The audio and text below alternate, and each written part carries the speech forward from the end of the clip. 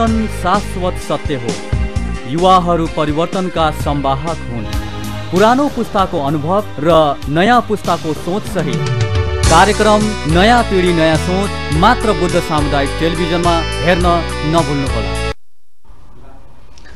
नमस्कार यहाँहरू सबैलाई नयाँ पिँढी नयाँ सोचमा हार्दिक हार्दिक स्वागत छ। म कमल थापा। दर्शक महानुभाव नयाँ पिँढी नयाँ सोचले विशेष गरी युवाहरूको मुद्दालाई युवाहरूको आइडियालाई युवाहरूको क्रिएटिभिटीलाई युवाहरूको नवीन सोचलाई यो स्टुडियोमा जोड्ने प्रयत्न गर्दैछ। यो कार्यक्रमको माध्यमबाट जनमानसमा दर्शकहरूमा लग्ने प्रयत्न गर्दैछ।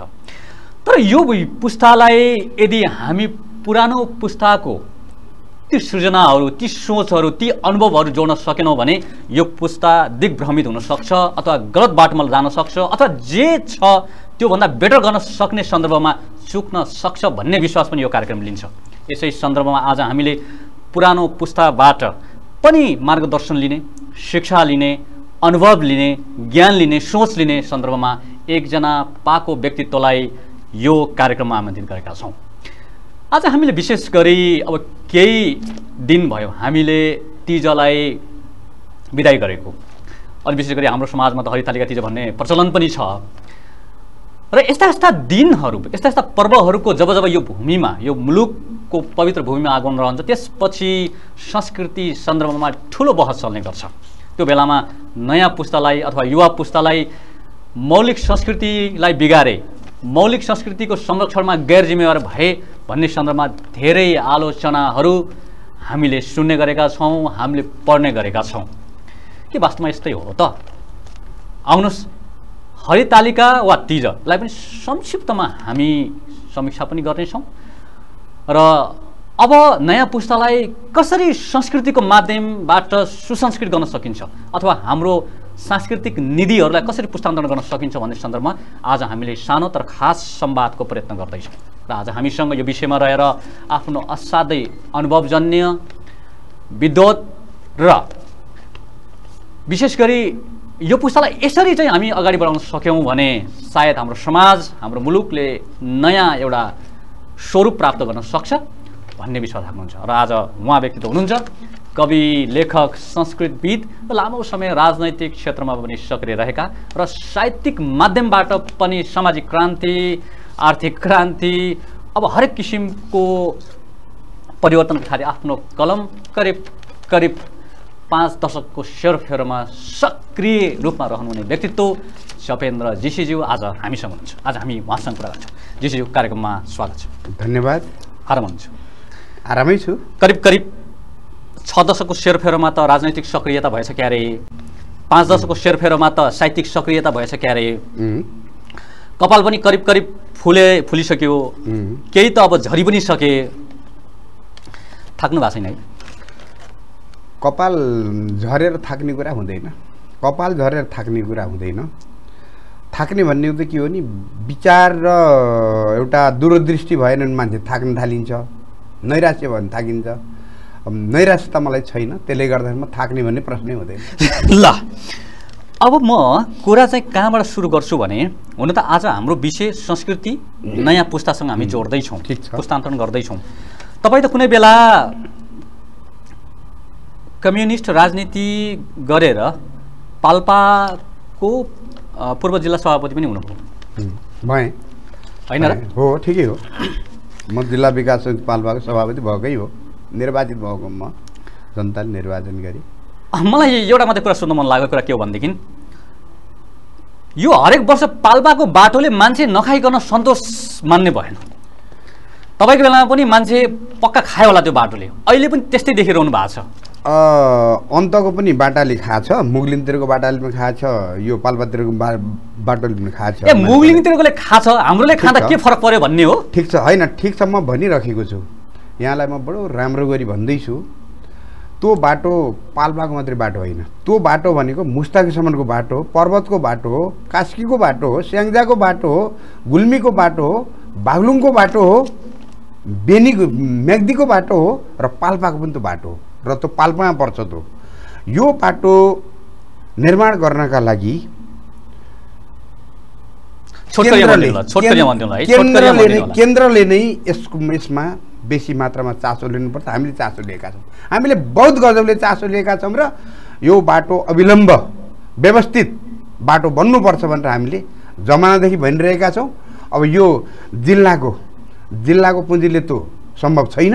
यसको लागि राष्ट्रिय योजनाबाट नेसनल लेभलबाट नै त्यसलाई महत्त्व दिएर राष्ट्रिय गौरवको आयोजनाको रूपमा लिएर जानुपर्छ भनेर हामीले त्यसलाई अगाडि बढाएका छौँ र यसपटक हामीले वैकल्पिक बाटोको रूपमा स्थानीय तहका साथीहरूलाई कोअर्डिनेसन गरेर झुम्सादेखि चौकी भन्दा चरङ्गे वैकल्पिक बाटो खोलेका छौँ।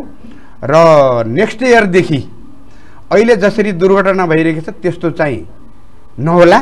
किनकि अब दस करोड रुपियाँ पनि त्यसमा प्रदेश सरकारबाट परेको छ र त्यो बाटो बनेपछि अलिकति जोखिममुक्त होला भनेर आशा गर्न सकिन्छ। ल तपाईँ त अब सामुदायिक रेडियो मदन पोखराको अध्यक्ष पनि। हो। त्यो रेडियोबाट फेरि यो बाटोले मान्छे खायो है भन्ने सुन्ने अवसर प्राप्त नहोस् है होइन सानोतिनो हुन्छ सानोतिनो यो हुन्न भनेर त्यस्तो लाउनु हुन्न तर के भन्दाखेरि अहिले जस्तो हुँदैन ल यो कुरा ठोक्कै गरे हुन्छ ल जेसीज्यू अब हामी विशेष गरी आज त हाम्रो विषय चाहिँ विशेष गरी संस्कृतिसँग। जोडेर हामी गर्दैछौँ अझ? विशेष गरी? तपाईँ दुई हजार सत्तरी सालको कुरा गर्ने भनेदेखि तिज पर्वको सांस्कृतिक अध्ययनको। सन्दर्भमा त. प्रज्ञा प्रतिष्ठानले तपाईँको कृति नै प्रकाशन गर्यो। गरे बहत्तर सालमा प्रकाशित भयो। होइन र? बहत्तर। हजुर हो। हामी अब केही दिन भयो। हामी यो तिज भनौँ या अब प्रचलनमा हरितालिका तिज भन्ने प्रचलन छ अहिले। यसलाई समीक्षात्मक तवरले हामी दुई तिन मिनट मात्रै यस विषयमा खर्चौँ क्यारे है? ठिक छ, ठिक छ ठिक यो पटकको अब त किनभने यो पाटोमै तपाईँले एउटा कृति नै। बाहिर ल्याउनु भएको कारणले गर्दाखेरि पनि मलाई लाग्छ यहाँनिर यो विषयमा कोट गर्नुपर्छ। होला। यो पटकको यो तिजलाई के साँच्चीकै तिज जस्तै पाउनुभयो? मैले तिज जस्तै पाएको। मैले तिज जस्तै पाएको। त्यसमा केही केही कमी कमजोरीहरू छन् पहिला कुरा त हाम्रो समाजले हामीले बुझ्नुपर्ने कुरा के छ भने प्रकृति कृति विकृति संस्कृति। यो विषयमा बुझ्न जरुरी छ। संस्कृति पछि विकृति होला। अँ। पहिलो कुरा त के हो भन्दाखेरि यो संसार स्वयं निर्मित हो। यो विश्व ब्रह्माण्ड पृथ्वी समेत यो स्वयं निर्मित हो। यसभित्र मानव जातिले जे जति निर्माण गरेका छन् त्यो कृति हो। मठ मन्दिर मस्जिद मूर्ति अनि त्यो मूर्तिको नामाकरण कुन देवता हो भनेर त्यसपछिबाट तपाईँको हाम्रा चाड पर्वहरू। अनि गीत गायन कला बाटोघाटो पुल पुलेसा हवाईजहाज कम्प्युटर जे जति छन् त्यो चाहिँ मानवले नै निर्माण गरेको। भनेपछि संस्कृतिको निर्माता पनि मानव हो। संस्कृति मानव हो र तिज पर्वको निर्माता पनि मानव जाति हो। तिज पर्वको विषयमा कुरा गर्दाखेरि खास गरिकन पर्वतीय विवाहको अन्त्य पर्वतीय विवाहको थालनी एकनिष्ठ विवाहको थालनी र स्वगोत्रीय विवाहको अन्त्य भएपछि अन्त्य हुन थालेपछि छोरी चेली बहिनीहरू पर पर पुगे। पर पर पुगेपछि अब माइती र छोरी चेली बिचमा मिलन हुनका लागि पुनर्मिलन गर्नका लागि यो भदौ महिनाको शुक्ल द्वितीया तृतीयाका दिन यो पर्वको चयन गरिएछ। गरिसकेपछि छोरी चेली बहिनी त्यहाँ आउने व्यवस्था भयो। यो एउटा के हो भने माइती र छोरी चेली बहिनीको पुनर्मिलन पर्व हो। यो यसमा विशेष प्रकारको दर खाइन्छ। दर भनेको सबै चिजबिजहरू। घिरम्लो चिचिन्डो बोडी भेडर्नी यी जम्मै तरकारीहरू त्यसमा घिउ राखेर तपाईँलाई लाग्छ अहिले दर मिलाएर खाने। तपाईँलाई लाग्छ अहिले यस्ता दर मिलाएर खाने कुरा दर हो। यस्ता ढङ्गका के भन्छ परिकारहरू खाइन्छ भन्ने तपाईँलाई लाग्छ अहिले? होइन अहिले अब अलिकति अब एउटा सम्पन्नता पनि भयो होला। साधन स्रोतको अलिक बेसी मात्रामा उपलब्धता पनि भयो होला। त्यसले गर्दाखेरि मानिसहरूले अहिले यो दरको सट्टा अहिले भोज खान थाले हेर्नुहोस्। द तपाईँहरूले दिनदिनै दर खाने भन्नुभएको होला। दर भन्ने कुरा तपाईँले ओमिट गर्नुहोस् डिलिट गर्नुहोस्। दर होइन। दर भनेको द्वितीयको दिन खाइन्छ द्वितीयको दिन दर खाइन्छ तँलाई दर भनिन्छ। अरू दिन खाने भोज खाएको पिकनिक खाएको त्यो यो त्यति मिल्दैन। यसले गर्दा तिज महँगो हुन्छ है। महँगो हुन्छ तिज। त्यसो भए त्यो विस्तार हो कि। तिज विकृति हो त्यसो भए यो यो विस्तार होइन यो। यो भोजलाई बढाउनु चाहिँ विस्तार होइन। दाइजो बढाउनु हँ? दाइजो मैले के भन्नु मितव्ययी हुनुपर्छ मितव्ययी हुनुपर्छ भने त्यहाँ दाइजो प्रशस्त मात्रामा दिने अनि सस्तो हुनुपर्छ मितव्ययी बन्नुपर्छ भने ठुलो ठुलो चाहिँ तारे होटलहरूमा बिहाका पार्टीहरू गर्ने जुन चलनहरू छन् यो के हो त भन्दाखेरि यो विकृति हो। ल अब हामी यतापट्टि अलिक कम खर्चौँ क्या अरे समय हामीहरू हाम्रो। विषय अलिकति फरक छ आज त्यसो भए अब हामीले यतापट्टि प्रकृति अँ, संस्कृति। त्यसपछि अब विकृतिका कुराहरू। संस्कृति विकृतिको कुराहरू पनि आउँदै गर्ला। र त्यसो भए हामी संस्कृति नै के हो भन्ने पाठबाट सुरु गरौँ न त्यसो भए। ह संस्कृति भनेको अब यो लेटिन भाषामा कल्तुरा सियुएल टियुआरए कल्तुरा भनेको कृषि पद्धति र पशुपालन पद्धति भनिन्छ। त्यसैलाई अङ्ग्रेजीमा कल्चर भनिन्छ। हाम्रोतिर संस्कृति भनिएको छ। संस्कृति चाहिँ एउटा उत्पादन पद्धतिको अभिव्यक्ति हो यो। अभिव्यक्तिमा के भने? गाउने नाच्ने बजाउने। बाजा गाजा वेशभूषा होइन? घर निर्माण कला। अनि गएर विभिन्न खालका यी जुन कामहरू गरिन्छ यो चाहिँ के हो त? संस्कृति हो। वेशभूषा पहिरनदेखि लिएर खानपान यो सभ्यतासित पनि गाँसिएको हुन्छ। संस्कृति अग्रगमनकारी हुन्छ। यसले अन्धविश्वास रूढि रूढिवादी विचारको यसले विरोध गर्दछ यसले के हो भने समाजलाई विभेदमुक्त अनि सम्मानित मानव समाजको निर्माण गर्नका लागि यो चाहिँ अगाडि बढिरहेको हुन्छ संस्कृति अब तपाईँले समयसँगै जुन अन्धविश्वास विकृति।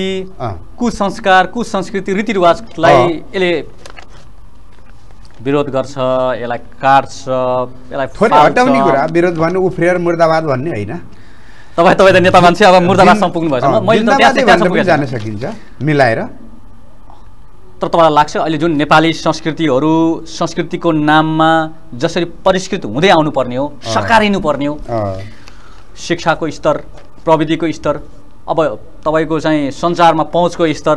विश्वलाई हेर्ने के भन्छ गरे। अब दर्शन दृष्टिकोण दर्शन दृष्टिकोणलाई हेर्दाखेरि। तपाईँलाई लाग्छ? अहिले चाहिँ यो- अन्धविश्वासको विरुद्धमा कुरीतिको विरुद्धमा सबका विरुद्धमा चाहिँ साँच्चीकै त्यो प्र्याक्टिस भएको छ? यस्तो छ कम भएको छ यो। दर्शन दृष्टिकोण क्लियर हुन स्पष्ट हुनु जरुरी छ। यो संसार हामी मानव जातिले नै बनाउने हो भन्ने कुरामा स्पष्ट हुनु जरुरी छ। हामीले अब चाडपर्वदेखि लिएर हाम्रो घर निर्माण कला सभ्यता कस्तो हुने बाटो कस्तो बनाउने पुल कस्तो बनाउने नाचगान कस्तो गर्ने के पहिरन लगाउने होइन? यी सबै कुरा के हो भने अब मानव जातिले नयाँ किसिमले चिन्तन मनन गरेर हामी आफै बनाउने हो यो यो संसार सुन्दर बनाउने हो सभ्य बनाउने हो विभेदमुक्त बनाउने हो सम्पन्न बनाउने हो समृद्ध बनाउने हो भन्ने दर्शन दृष्टिकोण चाहिन्छ।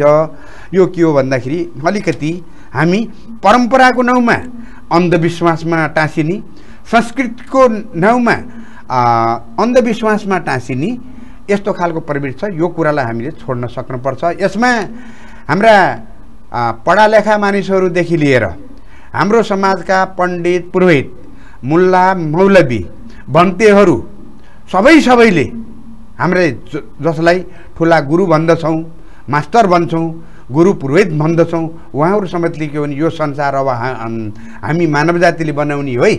अब हामी नयाँ किसिमले जाने हो है भनेर उहाँहरूले भन्न सक्नुपर्छ उपदेश दिन सक्नुपर्छ। पुराना नराम्रा कुराहरूलाई हटाएर जाने राम्रा कुरालाई अवलम्बन गर्ने संरक्षण गर्ने पुराना राम्रा कुरा जतिलाई संरक्षण गर्ने र नराम्रा कुरालाई चाहिँ हटाउँदै कर्मश गरेर एउटा सुसंस्कृत सभ्य समाज नेपाली समाज भनेको विश्वकै जसरी सगरमाथा सर्वोच्च शिखर छ त्यस्तै चाहिँ सर्वोच्च संस्कृतिको निर्माण गर्ने गरी हामी जानपर्छ त्यो दिशातिर हाम्रा विद्वान बुद्धिजीवीहरू सबै सबै लाग्नुपर्छ भन्ने मेरो चाहिँ आशय रह ल त त्यसो हो भने तपाईँले जुन सभ्य संस्कृति सभ्य। समाजको जुन परिकल्पना गर्दै हुनुहुन्छ। अझै सगरमाथासँग जोड्दै हुनुहुन्छ तपाईँले। जोड्छु म त के। के के त्यसको विशेषता चाहिँ त्यहाँ पुग्यो भने अँ यो समाज चाहिँ सभ्य समाज हो सभ्य संस्कृति हो भनेर भन्न सकिएला। हाम्रो देशमा पहिलो कुरा त हाम्रो समाजमा धेरै अन्धविश्वास छ। जस्तो छाउपडी प्रथा छ दाइजो प्रथा छ बोक्सी प्रथा छ होइन?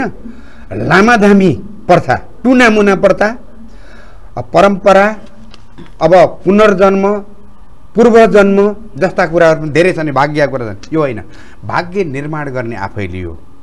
जन्म पहिला जन्मियो या जन्मिएन त्यो पनि थाहा छैन। फेरि जन्मिन्छ जन्मिन्न त्यो पनि थाहा छैन। अहिलेको जुनीमै हामीले जे जति गर्ने हो जे जति हामीले क्षमता प्रदर्शन गर्ने हो अहिले नै गर्नुपर्छ भन्ने हामीले संस्कार र संस्कृतिको निर्माण गर्नु ल मलाई एउटा कुरा सोध्नु मन लाग्यो यहाँनिर। जुन छाउपडी प्रथाको कुरा उठाउनु। हो। अब यो त एउटा विकृतिकै रूपमा रहिरहेको छ। नेपालको कानुनले पनि यसलाई कानुनले गर्यो। अँ कानुनले गर्यो। अब म त्यति पर जाँदिनँ। तपाईँ त करिब करिब छ दशकको सेरोफेरोमा. अब क्रान्तिकारी विचार राख्दै आउनु भएको छ प्रत्यक्ष परोक्ष रूपमा। त्यसपछि अब वामपन्थी राजनीति त तपाईँको आफ्नो अब रगतमै छ। द्वन्दात्मक भौतिकवादमा तपाईँहरूले विश्वास गर्नुहुन्छ तपाईँको प्र्याक्टिस हुन्छ। सिद्धान्त त पनि मैले पनि। सिद्धान्त ठिक छ? गर्छु मैले त। यस्तो क्रान्तिको कुरा गर्ने झपेन्द्र जीसीज्यूले उम्. घरमा यहाँको धर्मपत्नी यहाँको अब आफ्नो छोरी अथवा बुहारी मासिक धर्म हुँदा पूजा कोठामा जान नपाइने भान्सामा जान नपाइने छ कि छैन? मेरो घरमा आएर परीक्षण गर्नुहोस् यहाँले। छ कि छैन मात्रै सोधेँ। होइन मैले। तपाईँले आएर परीक्षण मैले गर्नु छ कि छैन भनेर मात्रै सोधेँ। छैन। पक्का हो? छैन। पक्का हो? छैन छैन छैन। त्यस्तो छैन कहाँ ल साँच्चीकै कुरामा चाहिँ त्यो व्यवहारमै देखियोस्। आएर हेर्नुहोस् परीक्षण गर्नुहोस् त भने। ल ल अब चाहिँ हामी बिस्तारै पाठतिर लगाऊ जस्तो अहिले नयाँ पुस्ताले हाम्रो संस्कृतिलाई विकृत बनायो भन्ने चाहिँ आरोप यहाँ जस्तो कपाल फुलेकाहरूले आलोचना गर्ने अलि राम्रै के भन्छ भने पत्र पत्रिकामा गुत्ने काम भइरहेको परिस्थिति छ। यस्तो गरेको हो। होइन यो अल- अलि यो प्रश्न अलिक क्लियर चाहिँ भएन। यो यसलाई त्यसरी लानुभन्दा पनि हाम्रो संस्कृतिमा केही विकार र विकृतिहरू आएका छन्। त्यसमा सुधार गर्नुपर्छ भनेको जम्मै बिग्रिएको खतमै भयो त्यस्तो होइन। हामीले संस्कृति भनेको के हो भने पुरानो कला पक्ष प्रविधि पक्ष राम्रो पक्षलाई अहिलेको परिवेशसँग गाँसेर लिएर जाने कुरा। त्यही कुरालाई नयाँ पुस्तालाई बिचमा राखेर होइन।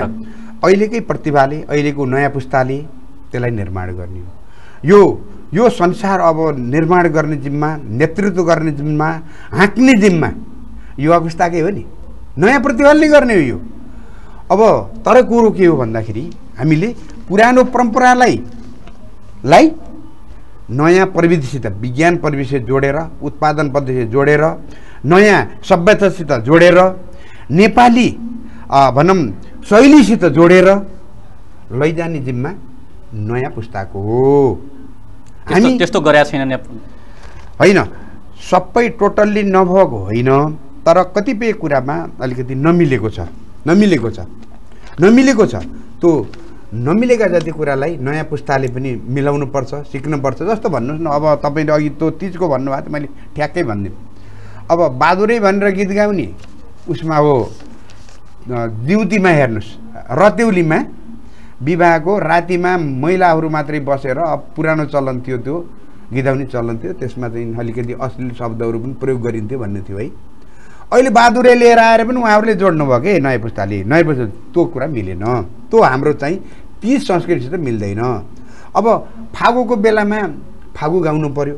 अहिले अब तिजको बेलामा के आयो भन्दाखेरि कतिपय गीतहरू राम्रा पनि आयो बहुत राम्रो हाम्रा सर्जकहरू गायक गायिकाहरूले गाउनुभयो नाच्नुभयो राम्रै गर्नुभयो तर कतिपयले के गर्नुभयो भन्दाखेरि अब लोकगीतलाई ल्याएर अरू अरू बेलामा गाइने हाम्रा लोकगीतहरूलाई पनि ल्याएर अब तिजमा गाउनुभयो अब गाउन तिजमा पनि ती गीत गाउनु त पाइयो केही फरक परेन। राम्रा छन् तिनीहरू छन्लाई तर के भन्दाखेरि मान्छेलाई भ्रम हुने भयो कुन तिज गीत हो कुन चाहिँ अरू बेला गाइने लोकगीत हो भन्ने अब अबको अबको केही दशकपछि त तिज महिलाको हो कि पुरुषको हो भनेर पनि छुट्याउन गाह्रो होला है।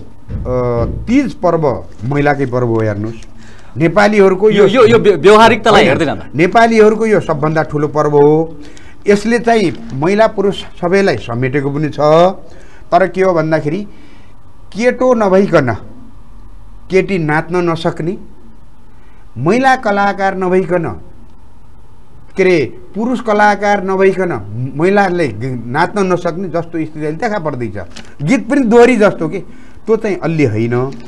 त्यसलाई चाहिँ के हो भने महिला कलाकारहरूले गर्ने र आवश्यक परेको बेलामा दाई दिदीहरू त्यहाँ जो जो हुनुहुन्छ भूमिका चाहिँ सहयोगी भूमिका रह सहयोगी भूमिका र मादल बजाउने हार्मोनियम बजाउने बाँसुरी बजाउने मुरली बजाउने के के बजाउने हो त्यो बजाउने तर के भन्दाखेरि महिलाहरूलाई नै त्यसमा अलिकति अग्रसर गराउँदा राम्रो होला। ल जेसीज्यू अब हामीसँग समय असाध्यै कम छ। यहाँले आफ्नो अभिमत असाध्यै सठिकमा राखिदिनु होला। विशेष गरी हाम्रो समाज अनपढ नजान्ने नबुझ्नेले भन्दा जान्नेले बुझेकाले अगाडि। बढेकाले सम्पन्नले गर्दा विकृत पनि भइराखेको छ भन्ने तर्क सुनिन्छ हो र? अब कुरो के छ भन्नुहुन्छ भने त्यस्तो पनि होइन। केही अब पढालेखा मान्छेहरूले पनि अलि नयाँ सन्देशमूलक कुरा दिन नसक्ने परम्परामा बेसी मात्रामा टाँसिने स्थिति पनि छ। पढालेखा भयो भन्दैमा त्यो चाहिँ बडो समाजलाई रूपान्तरण गर्न थाल्ने भन्ने पनि नहुँदो रहेछ। तपाईँलाई मैले फर इक्जाम्पल भनिदिउँ। त्यहाँ चाहिँ त्यो पोहोर साल पहिरो गयो नाकथान बनाउनु थाले त्यहाँ। पहिरो गएपछि त त्यहाँ बाटो कसरी त्यसलाई सेभ गर्ने? कुन खालको वाल बनाउने? त्यो ढुङ्गालाई कसरी फाल्नेतिर भएन? हाम्रो त के भने त्यो त जान्ने बुझ्ने गरे नि हेर्नुहोस्। गरे। एवं रीतले अब यहाँ चाहिँ तपाईँको अ, प्रारसाल यहाँ निमको रुखलाई ट्रकले हानेछ। ल यो त भगवान् रिसाएर यो चाहिँ भगवान् रोइ बक्सियो भनेर त्यहाँ चाहिँ एकदम पूजा नाराधाना महायज्ञ नै यहाँ चल्यो हेर्नुहोस्। अब त्यहाँ को हुनुहुन्थ्यो भन्नुहुन्छ भने पढालेखा हाम्रा सबभन्दा समाजका गुरु पुरोहितहरू पण्डितजीहरू पढालेखा मान्छेहरूले त्यो कुरा त्यहाँ अब गर्नुभयो गर्नुभयो गर्नु भएन। त्यो त रुखमा ठोकिएपछि चोप आउँछ रस आउँछ भनेर भन्नु पऱ्यो अनि काठमाडौँमा पढालेखा मान्छे सबभन्दा धेरै पढालेखा मान्छे बुद्धिजीवी काठमाडौँ गणेशले दुध खायो भनेर बाल्टीका बाल्टी त्यहाँ दुध लिएर गयो हेर्नुहोस् अब यो कुरा त मान्छेलाई राम्रो गरी बताउनु अब मूर्तिले दुध खान्न यस्तो- भन्ने कुरा यस्तो- मूर्तिले दुध खान्न भन्ने कुरा बुद्धिजीवीले भन्नु पर्यो यस्तो यस्तो बुद्धिजीवीहरूले यस्ता। विवेकबाट पूर्ण रूपमा सजिएका व्यक्तित्वहरूले। यस्तो काम गर्दा आउने पुस्तालाई कति असर पुग्छ। भन्ने कुरा सोच्ने कि नसोच्ने सोच्नुपर्छ त्यही भएर हामीले के हो भन्दाखेरि नयाँ सन्देश दिने खालले त्यो विज्ञानसम्मत हुनु पर्यो। त्यसलाई नयाँ प्रविधि र पद्धति उत्पादन पद्धति जोडेर लैजानु पर्यो। त्यसलाई सभ्यतासित लोडे जोडेर लैजानु पर्यो। कहीँ पहिरो गयो भने नागले नै त्यो भत्कायो भन्ने होइन? नाग रिसायो भन्ने। कहीँ अब बरको रुखबाट चोप आयो भने यस्तो भयो भन्ने। कहीँ अब गणेशको मूर्तिले चाहिँ दुध खायो भन्ने गर्न थालियो भने हाम्रो समाज कहाँ जाला भन्नुहोस् त? त्यसले गर्दाखेरि हामी यस्ता कुरालाई कसरी व्याख्या गर्ने यो उहाँहरूले जान्नुपर्ने कुरा हो। मैले गरेँ भने फेरि लौ यसले त के व्याख्या गर्यो भन्नु होला मैले त के भने हामीले जस्ताको जस्तै कुरा नढाँटौँ हामीले। कसैले पनि नढाँटौँ हामी। हामी नेपाली हौँ। नेपाली हाम्रो संस्कृति हो। हाम्रो आफ्नै धर्म संस्कार छ। हाम्रै हाम्रो आफ्नै खालको जीवनशैली छ। त्यो जीवनशैलीलाई हामीले विज्ञान प्रविधि जोडेर लैजाऊँ भन्ने मेरो भनाइ। ल अब हामी असाध्यै अन्त्यमा छौँ। हजुर हजुर। अब एकदमै अन्त्यमा छौँ। अन्त्यमा हामीले हाम्रो संस्कृतिलाई जोगाउनु पनि छ। यसको असल पाटोलाई हामीले पुस्तान्तरण पनि गर्नुपर्ने छ। छ, र यो। यो पुस्ताको काममा पनि। केही जिम्मेवारी छ। अब यस्तो यस्तो परिवेशमा यस्तो अवस्थामा पुरानो पुस्ताको भूमिका के रहने स्वयं नयाँ पुस्ताको भूमिका के रहनुपर्छ जस्तो लाग्छ? अन्त्यमा। यो समाज नयाँ पिँढीको हो नयाँ पिँढीले यसको नेतृत्व गर्नुपर्छ नयाँ पिँढीले हाम्रो राम्रो सांस्कृतिक पक्ष पुरातात्विक महत्त्व कला कला पक्ष प्रविधि पक्ष पुरानालाई पनि नयाँ प्रविधिसँग विज्ञान प्रविधिसँग यसलाई चाहिँ जोडेर लैजाने जिम्मा उहाँहरूको।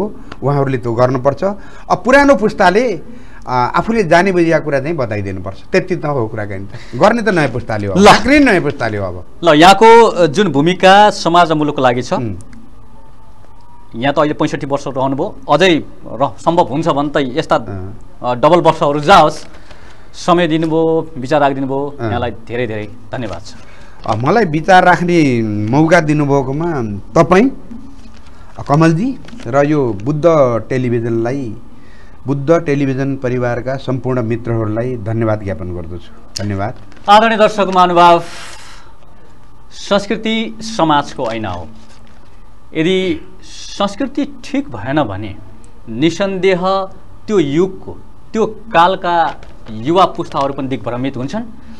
विकृत मनोविज्ञानबाट फेरि नयाँ विकृत संस्कृतिको उत्पादन गर्ने मेसिन बन्न सक्छ। त यस्तो बेलामा पुराना पुस्ता पनि यो बेलामा सजग भइदिने र स्वयं हरेक कुराबाट हामी जानेका बुझेका जागरुक भएका युवाहरू पनि आफ्नो भूमिकालाई सोबोध गरी अगाडि बढ्न सके। निसन्देह हाम्रो संस्कृतिको महत्त्व पनि अछुन रहन्छ र नवीन अभ्यासहरूले हामी नयाँ कुराहरू पनि सिर्जना गर्न सक्छौँ। यही आग्रह गर्दै बिदा हुन चाहन्छौँ। नमस्कार। परिवर्तन शाश्वत सत्य हो। युवाहरू परिवर्तनका संवाहक हुन्। पुरानो पुस्ताको अनुभव र नयाँ पुस्ताको सोच सहित कार्यक्रम नयाँ पिँढी नयाँ सोच मात्र बुद्ध सामुदायिक टेलिभिजनमा हेर्न नभुल्नुहोला।